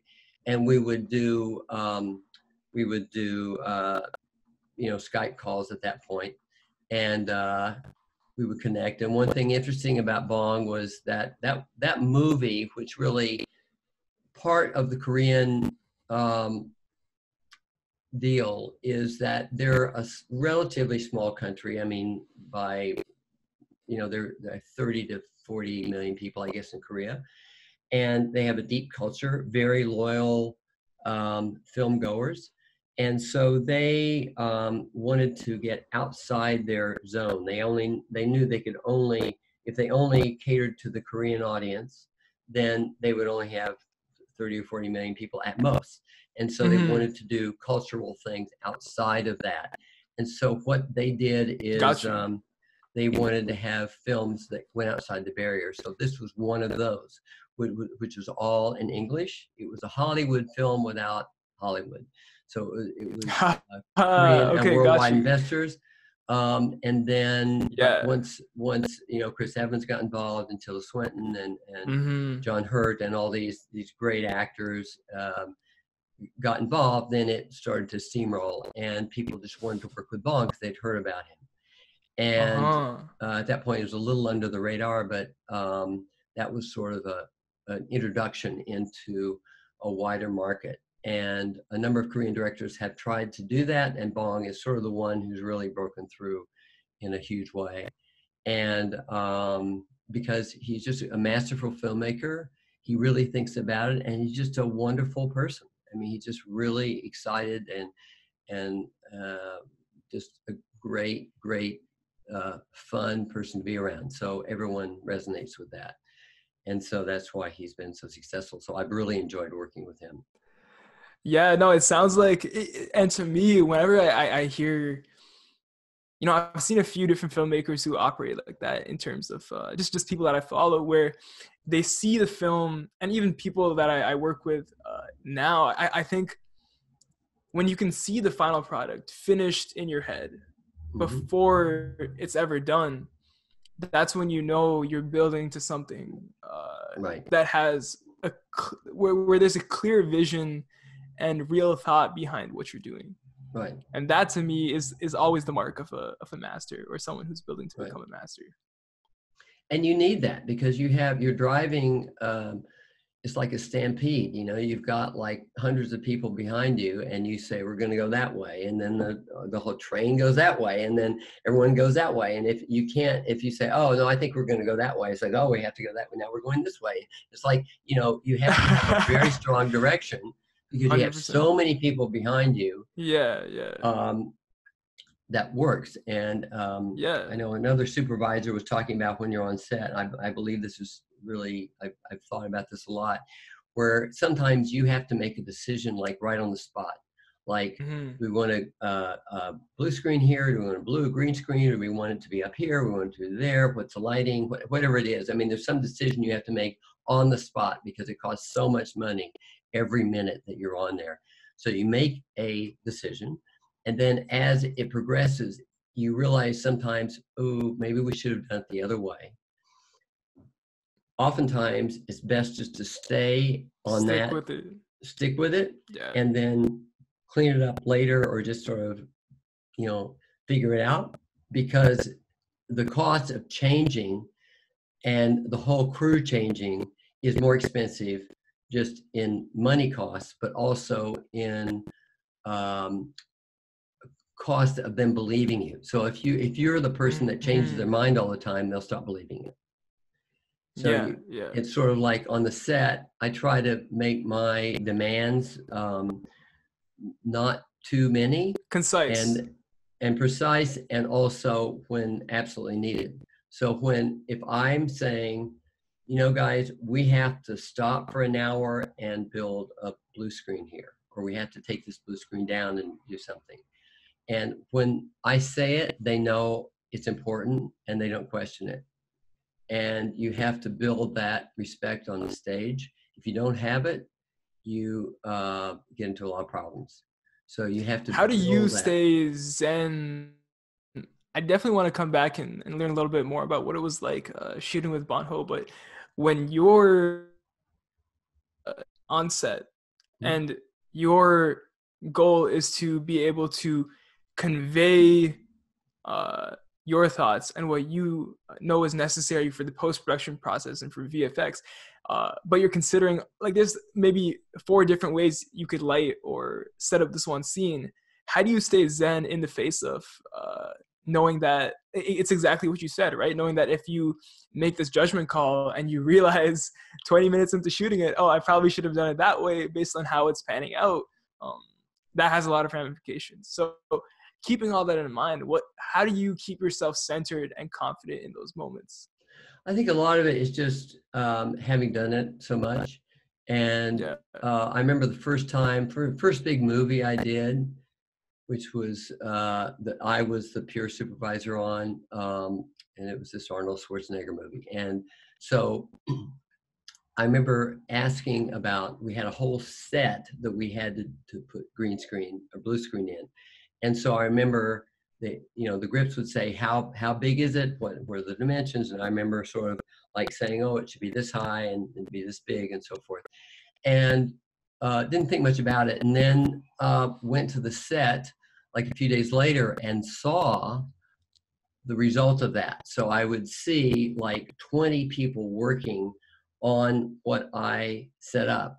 They were responding to the exact measurements that i asked for and it just scared the hell out of me because it was like oh my god this is like this isn't just sort of like oh maybe we should do this or maybe do that and it's very casual.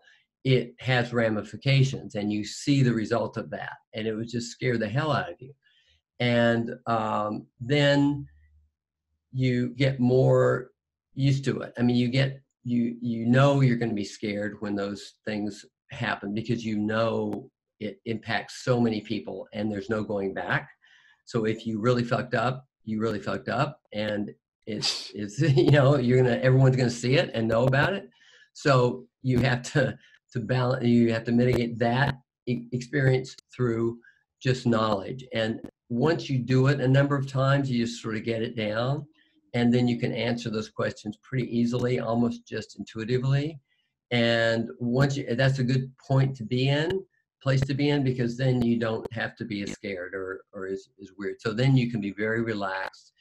Uh, but there are periods like in anything if you learn anything you you don't know what it is. So and that and you have to be scared you have to do you know people say you have to do one thing that you're scared of every day. You know you have to do that to, to keep attuned to that. So you don't want to get so um, Comfortable. uh, comfortable that you sort of lose your edge. So you have to be able to you know do new things all the time. But the things that yeah. other people think are extraordinarily difficult to you it's just easy. You've done it a thousand times and um, so there's a certain ease and pe- people pick that up also. If you act nervous or you are nervous they're nervous.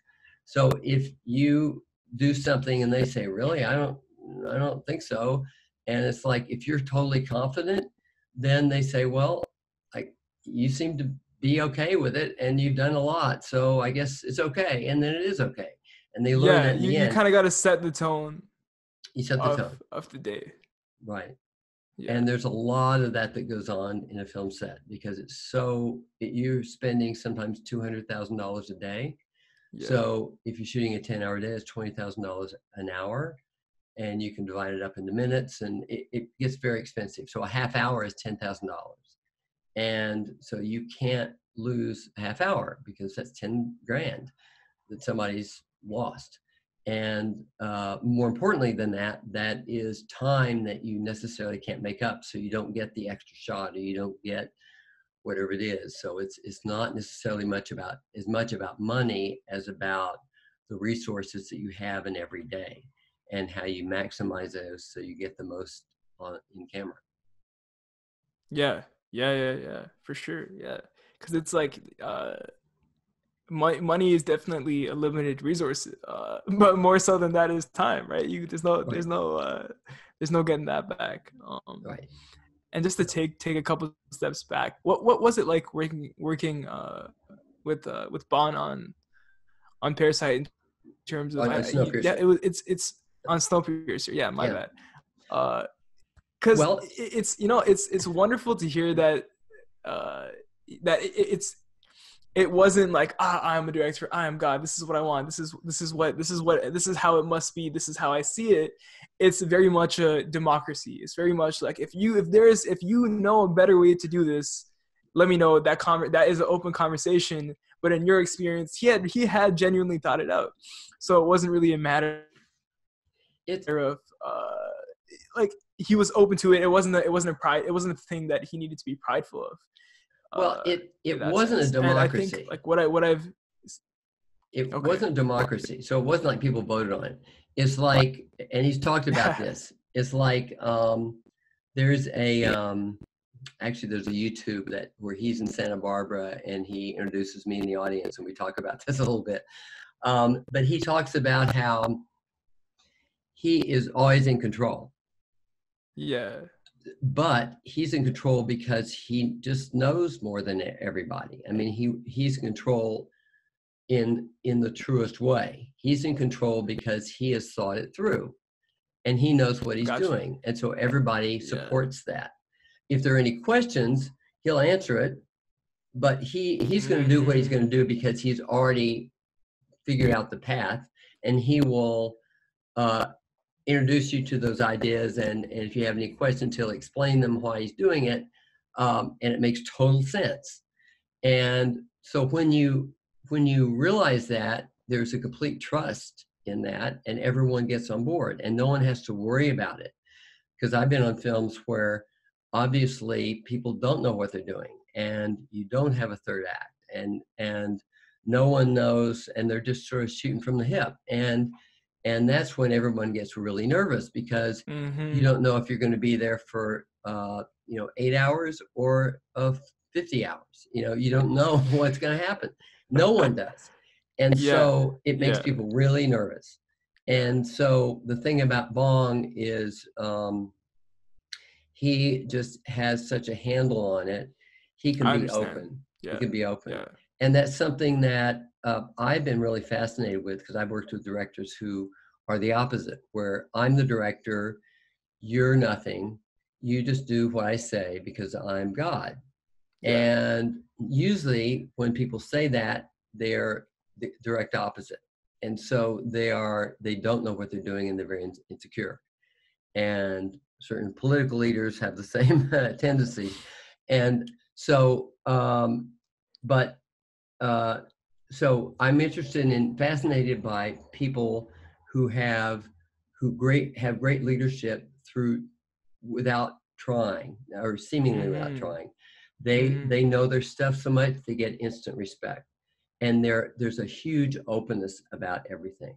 Yeah. I have that same experience with Ron Howard. I did a uh, a film, uh, a series called Genius, and with about Albert Einstein. And Ron Howard was the uh, producer and also directed directed the pilot that I did with Ron. And and he did the same thing. And so I asked. I remember one night we were having dinner, and I, I was asking Ron about this very fact. It's like uh, I said, you know.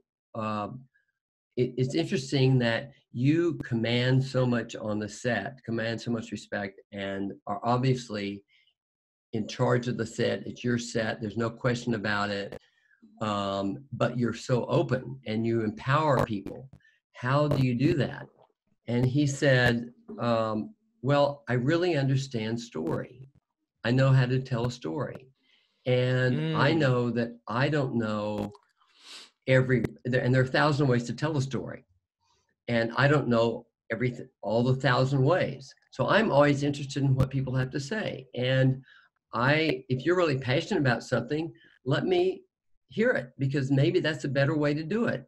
And so I remember pitching him, I was doing the thought experiments for Einstein. And so I remember I had a pitch with Ron and, and uh, sort of showed in different ways of doing it. And he really liked it a lot. And it was just very welcoming. You're talking about different ways of ex- of uh, representing it visually through the VFX. Yes, right. Vi- Gotcha. Visual ways. Oh, we could do this, we could do this, and here here are some visual examples and so forth. He really Yeah. dug it. And then, so he uh, shot the film, and I realized he had taken um, a good portion of those. He'd taken some of those ideas and used them, but he also incorporated incorporated them in in different ways as well. And so he he said, because I know how to tell a story, um, that's my job. And so you, I, I'm really interested in your ideas, and I will take some and say yes, that works or that doesn't work in telling the story. But I'm the manager of the story, but not manager of all the ideas. And Mm. so that creates this this real welcoming and and very much a um, an openness to the set, and everyone feels very relaxed about it because they know Ron is really good at telling story. He knows how to do it. He's got it under control, he may not know every detail of everything, but he um, will always be able to make the right decision. And uh-huh, so there, there's uh-huh. an openness to that kind of leadership. And what it sounds like to me is that it comes down to having that trust that the people who are making the calls are making the calls from a place of knowledge, understanding, uh, knowledge and understanding, and not from a place of uh, ego. So from a place right. of like, like I am the director, so I get to make this call. No, no, it's not from a place of uh, right. authority in terms of like structure. It's from a place of I know where my strongest skill sets are. And right. based on my understanding of his strong skill set, he knew was his understanding of the story. Right. So because he trusted in that skill set, he was able to maintain that open environment where it, it wasn't about getting cha- it didn't it wasn't a challenge when someone proposed an idea to him. It was an opportunity to tell the story in a better way. Right. Or t- tell a way. It's like I remember um, uh, also what Ron would do, and I, I saw him do this a couple of times, when somebody would pitch him an idea, he would say, Well, that's not really how I saw it. You know, I didn't really see it that way. But I would like you to tell me how you think it fits in the story. Hmm. And then you would you would say that, and he would say, "Oh, that makes sense," or "That doesn't make sense because of so forth." But yeah. he would never say he would never yeah. say, that no. is a shitty idea. That's yeah, horrible. Yeah, yeah. never say that. He would always turn it around, frame it a different way, and say, That's I didn't think of it this way, but why yeah. don't you tell me, from my point of view, how I would fit that into the story?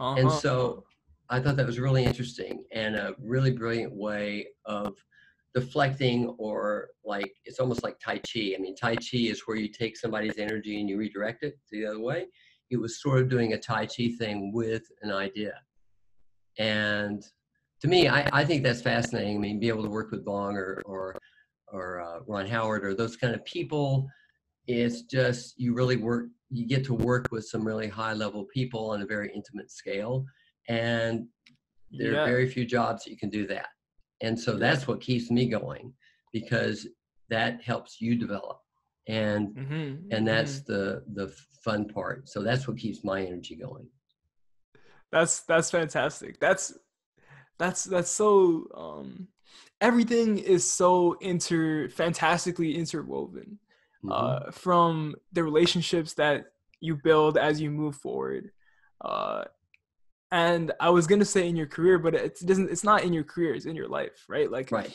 the relationships that you build with the people that you resonate with the, the the way that you then bring that energy onto set and into what you create and uh, then your ability to stay open and learn from people who are just cl- very clearly doing things executing at a very high level. Right. Uh, fantastic fantastic. And I, I, guess like that this leads me to my last couple questions. I know i know we've been going for a while here and yeah, I, no, I, really fine. appreciate that. Yeah. um what so right now as i level up um i'm in, in a very similar stage to draw parallels between uh, your story uh kind of post university i've taken a year off university and mm-hmm. i'm trying to see whether i can just do this myself. And uh every with with each project that I do, and obviously uh, with the projects that I, am a part of and I'm learning from, when I'm a PA on set or when I'm an AD on set and learning uh, in other ways, or even on my own projects when I am directing, mm-hmm. I'm trying to level up the quality of what I'm making with each project. Uh, and the goal is to get to features, right? Uh, right? That's that's that's really that's really, that's really my goal to be able to tell movies to be able sorry to be able to tell stories at the scale of movies to be able to have that impact on on how people think and their perspective on the world.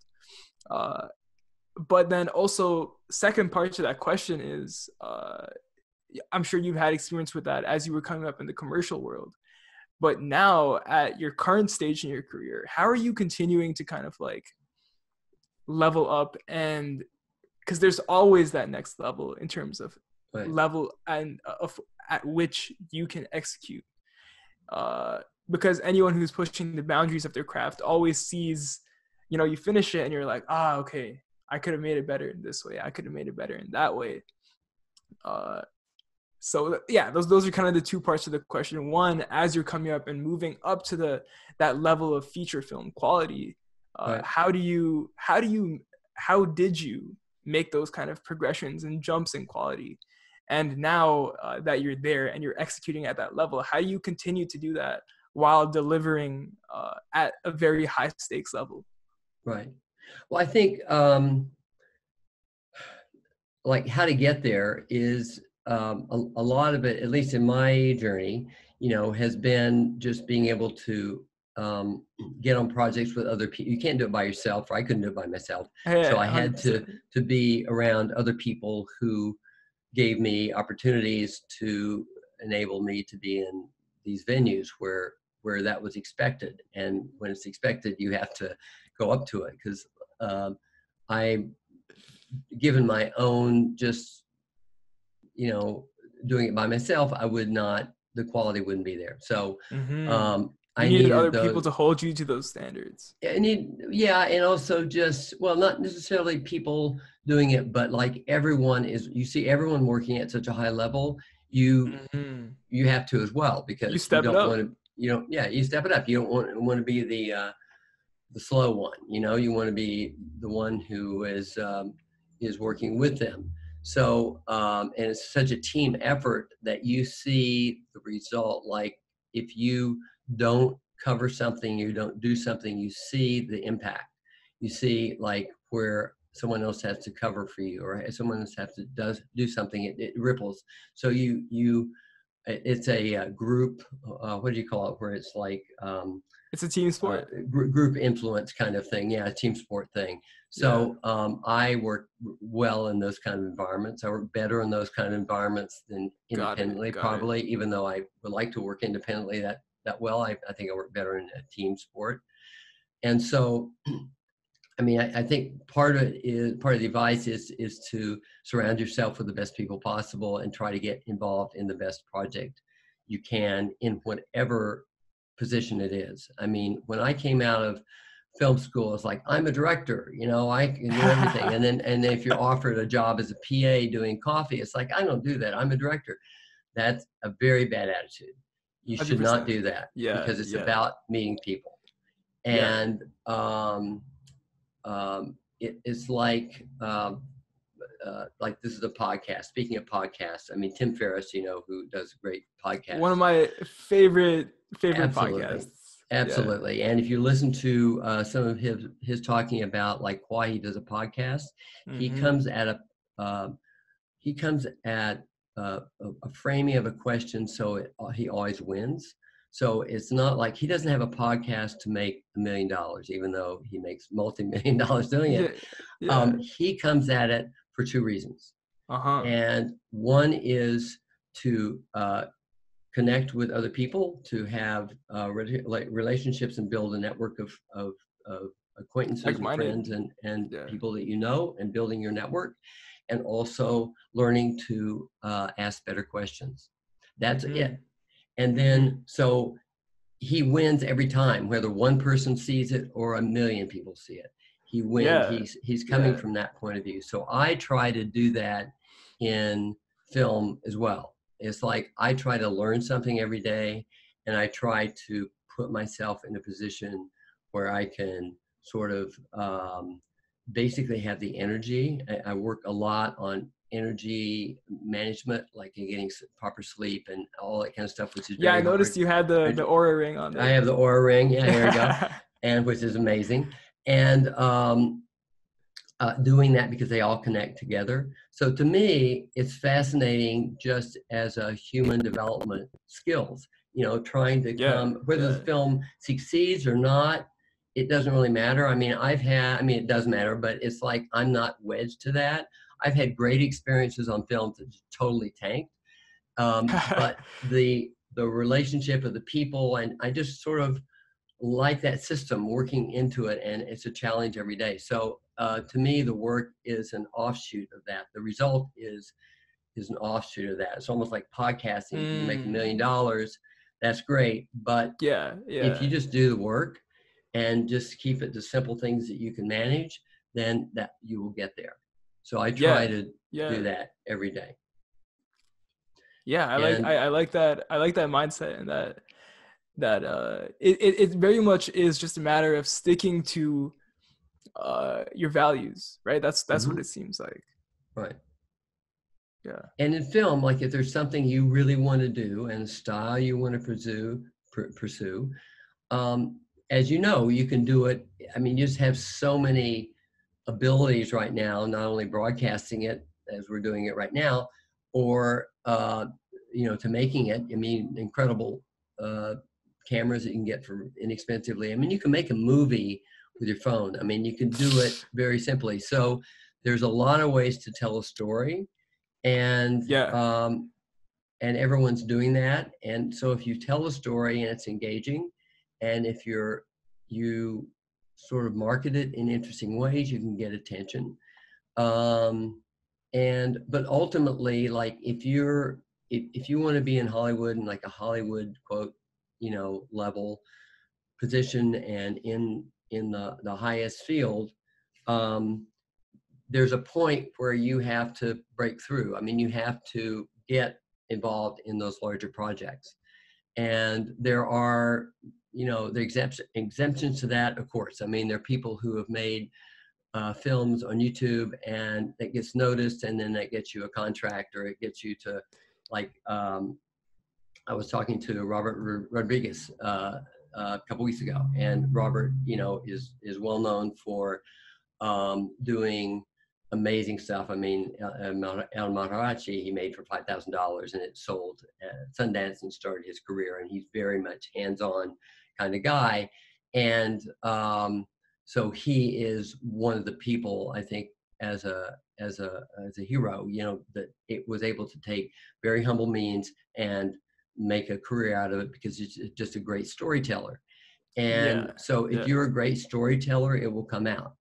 And Mhm, and mhm. do whatever you can to to do that. Or or if you're a stylistic filmmaker or something like that, there are ways to build your chops. But also I think it's important to sort of on a political level, uh, just sort of the the way it works level, you know, get hooked up with higher projects if you can, because you'll meet people that will will help your work go further. So if you're doing great work and you happen to be on a film and there's a great director and somehow and you and and the chemistry is right and whatever they say hey i got this film and say oh look at that. That's ethan's film. It's, it's awesome. It's great. And you know that's a step and that takes you one step Yeah. further. So Yeah. you've got to manage the opportunities with the work that you're doing. I mean those are Mhm. two separate things that have to merge that somehow. you know those two kind of variables as you put it that does really seem uh, what, what it seems to be coming down to because there are the opportunities for external projects that, that i'm seeing in front of me Mhm. and then there are the like internal projects uh, that i want to create that Right. uh, kind of shows the world like hey this is what i'm trying to do Mhm. uh, and i guess it's just finding a balance of building those relationships and putting your own work out there And also, there's, I've seen this happen before where people do it too early.